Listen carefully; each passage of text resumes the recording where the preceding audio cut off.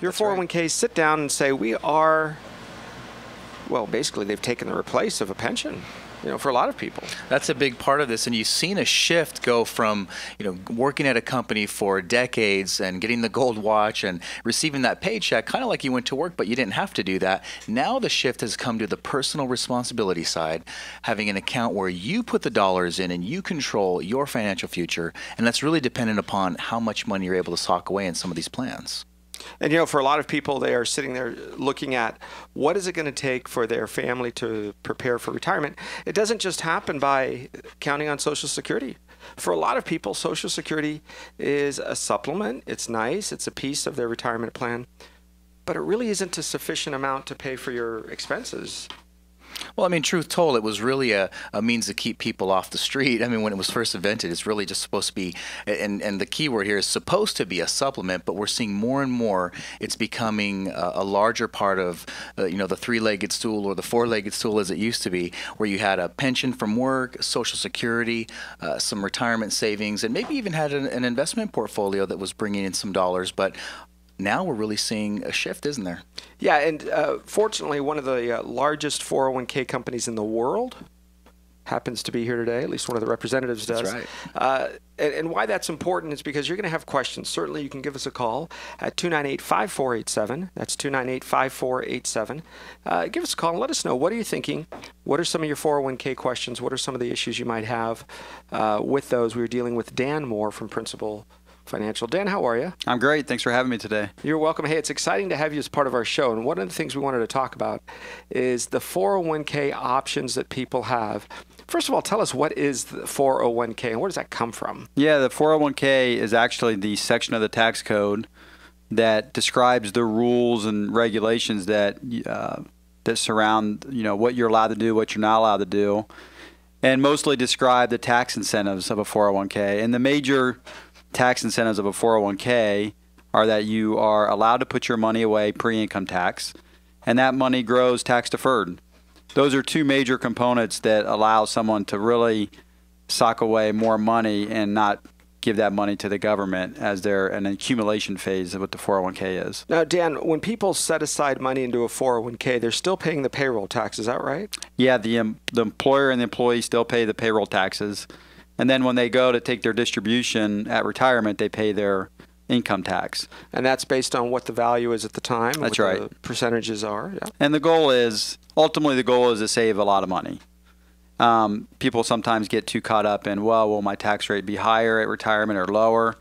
The ultimate goal is to save money on taxes today so that money can grow and, and, and really get that magical uh, compounding interest. Yeah, because you actually earn interest on the money that you would have paid in taxes. That's so right. Those dollars are physically there. That's right. Earning money that would have normally just gone to the government. That's exactly right. And then the other benefits of a 401k that are sometimes overlooked are that for the individual, uh, once the money goes into that account, it's bankruptcy and lawsuit protected as well. Very nice. So if anything happens to you as an individual, nobody can touch your 401k money. Well, let me rephrase that. The government can if you don't pay your taxes, and in the event of a divorce, the spouse could be owed up to 50%. But otherwise, in a lawsuit or bankruptcy situation, the 401k is completely protected. Yeah, so what it does do is it is it protects it from creditors, protects That's it right. from issues. IRAs on the other hand, individual retirement accounts on the other hand, are not protected on the same level.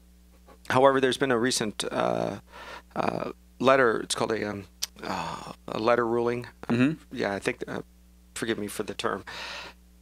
That ruling has come out and said that is provided if you rolled over that 401k into an IRA and you haven't contaminated it with new contributions. Right. Apparently, it can retain that. Is that right? That's correct. Yeah. So that uh, that allows us to uh, roll over those funds when you leave the firm. You can even take old 401k money and roll it into your new retirement account. Is that right? Yeah, and the benefit of doing that can be that you have one consolidated account. Uh, some people feel like, well, I'm diversifying when I have multiple accounts, and that's generally not the definition of diversification is to have multiple accounts. Um, there's a better way to diversify, and it's probably easier to track what you really have and really help yourself determine what your actual retirement readiness is by having it in one account and really tracking it there. You know, one of the things that we see, Jeff, uh, with our clients as they come through the office, they often have those multiple 401k accounts, and some of them might have three, maybe seven choices that are that are reasonable. and they say, well, you know, we're trying to save and, and plan, and you know, our job is to help them on the safer money side uh, if they want the IRA protection, if they want 401ks. Of course, Principal Financial is there for us to make that happen. Uh, but how many options would be reasonable to expect in your retirement account? Six or ten? I don't know. The that's a great question. It's not a real easy answer. Uh, it, it depends on the sophistication level of the investor, I would say. But for most people, what happens is the more choice you're given, the, the more difficult it becomes to make a choice. I Yeah. can see that. It's like when you're hungry and you walk into a restaurant. You've got 18 choices versus give me a number one, a number two, or a number three. Yeah. Uh, but uh, maybe I can help clarify the question.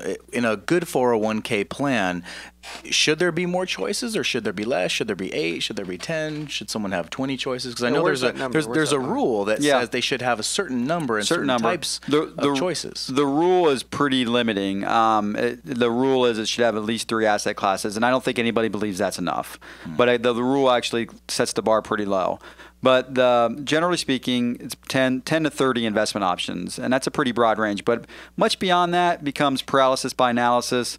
You're looking at too many things, it's hard to make a right decision. Uh, today, what we see is mostly between 10 and 30 uh, different investment classes spread across different um, asset classes. And part of that, uh, the the safety, if you will, or the the simplicity, maybe that's a better word that we're seeing, is clients are choosing what we call uh, time dated or Target date. target dated mm-hmm. funds. Tell me about those. What is that all about? Yeah, target date funds have, were built about 10 to 15 years ago as a convenience to participants who really didn't have a great comfort level with investing. So they would put their money in this one fund, which in, which in general you say, well, you're putting all your eggs in one basket. It's a little nervous. But these funds are built to be diversified on behalf of the participant with multiple asset classes already built in.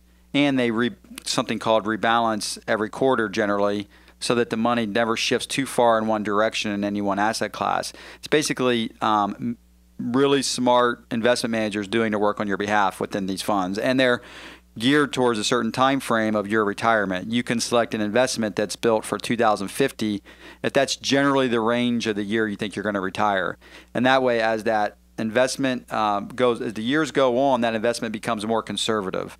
So it's really a set it and forget it, and let someone else really kind of help you with that, with the built Because that that date is is what you're saying is that's a date I'm going to retire. That's the, the the range you're hoping for, yeah. Okay. Even though you can't predict the exact year you might retire, but usually it's the year you'll turn 65. Okay. And they plus or minus a few years, Sure. you know, depending on your risk profile. So, when, go. I just wanted to say. So what it sounds like is you put money into that target date fund based on when you're going to retire, when you think you'd retire, and then the company. Talk about that a little bit. The company is the one that manages that and moves those assets around Yeah. to, to kind of form towards uh, gearing towards your retirement. Yeah, the, the target date funds have a level of complexity, but to make it pretty easy, it's that they generally move down what we call a glide path that makes the investments geared towards being more conservative as that investor becomes older. So basically, we're shifting. We're going from stocks and risky investments over to a bond portfolio, and Yeah. over time. That's exactly right. Now, what are you seeing, Dan, when when somebody walks in and they said, you know, I'd like a little help? Uh, you know, they're calling and talking to the advisors before they probably call you guys, of course. But uh, let's reach out and speak to those out there uh, with a couple of definitions. We say asset classes. What does that yeah, mean? thanks. And it, sometimes we use words that Yeah. are simple to us and not as easy to understand. An asset class is something like a uh, the investment itself. The mutual fund invests in a certain size company or a certain sector of the in, of an industry. So the easiest example might be a large cap mutual fund is investing in, generally speaking, Fortune 500 companies, and that's their uh, target range of what Which are the largest companies in the U.S. system. Yeah, and then an international fund might be an asset class that invests only in international companies.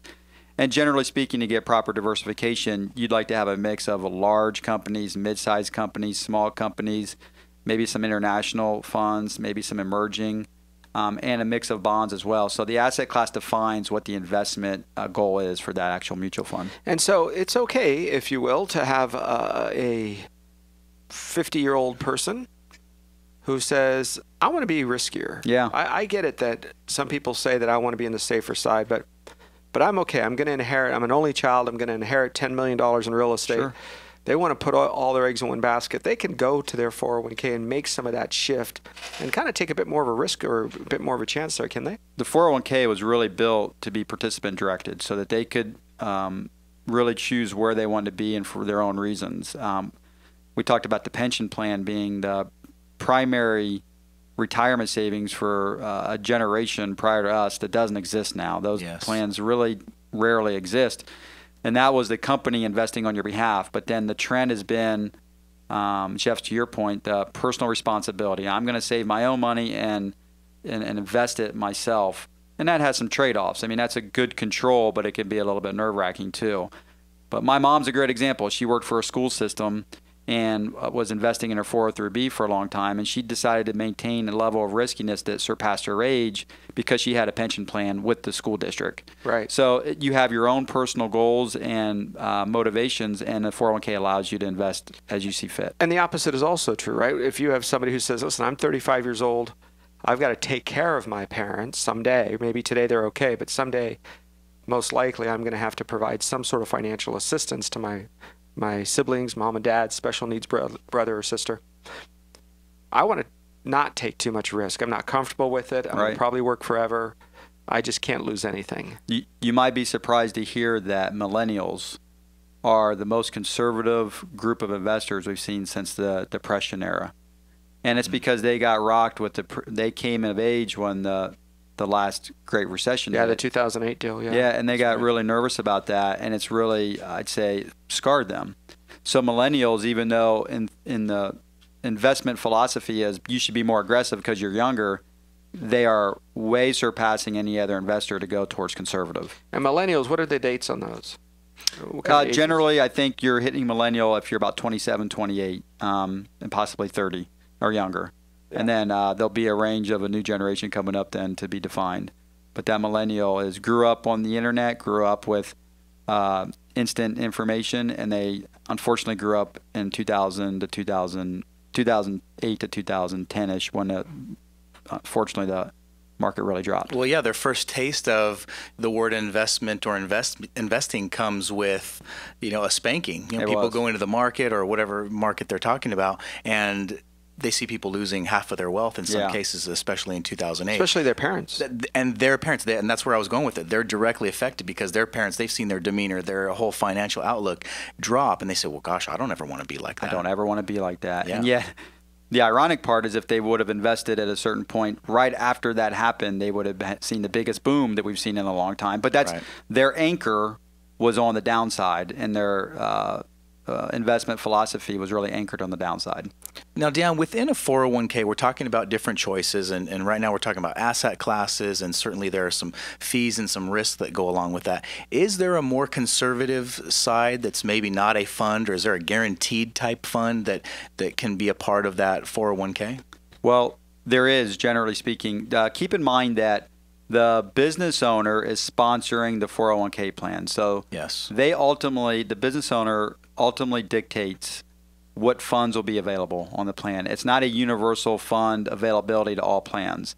If a business owner feels like their particular demographic of employees can handle certain risks, they might add certain funds on there. Um, and they may they may not be aware that there's a guaranteed fund. But in general, most 401k plans have some sort of very safe investment that's either a guaranteed return um, or some type of money market uh, to, for someone who's highly conservative and really doesn't want to take any risk. Because I'm hearing that some people want to participate in that pre tax contribution so that they can take some of the money that they don't want to spend and they're going to put it in that 401k for their future, but they don't want to lose it. They want to make sure Yeah. it's going to be there. So uh, when I've heard in the past, oh, I don't like 401ks, they, they lose money, or oh gosh, my, my uncle lost a lot of money in their IRA, I'll never have one of those. They think that that that name, that nomenclature, the 401k, is the is the good or the bad part of it. When in essence, it's really just the way the government looks at the money. Yep. And the underlying assets are really what drives the money up or That's down. exactly so to put the money in to participate in the program as an employee or even as the owner of the company, you do have choices, and one of those could be that safe, guaranteed option. It, it could be, and if it's not available on your particular plan, you should talk to your the business owner or your HR department and ask for one to be added. That'd be very possible to happen. Yeah, it's simple to do. We're going to take a break here in just a second. I want to come back and talk about Principal Financial's advantages. What do they have that other companies don't have? And, and that's important because sometimes companies will change 401ks and there's something called a blackout period or a dark period. It's, heard it different ways. What is that? Uh, and then finally, what are some of the things that we can do individually every single day to kind of get towards that maximum 401k contribution? We have some ideas for you. We're going to cover that and a whole bunch more when we come right back on Total Financial Solutions Safer Money Hour. I'm Arif Halaby with Jeff Girard, special guest Dan Mohr from Principal Financial Group. On your place for news, talk, and information, this is AM 1220 KHTS.